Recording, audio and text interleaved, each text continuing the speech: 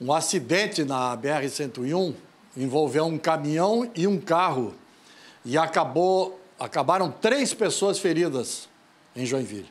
Durante o atendimento, a Polícia Rodoviária Federal fez o teste do bafômetro e descobriu que um dos motoristas tinha bebido. Veja. Segundo testemunhas, o caminhoneiro seguia pela marginal para entrar em um posto de combustível.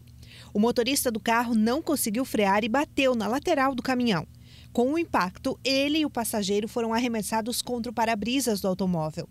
Uma terceira pessoa que estava no banco de trás também se feriu. Vítimas sem cinto projetada para frente do veículo, teia de aranha no, no, no para-brisa, temática bem importante, encaminhada ao hospital para maior avaliação.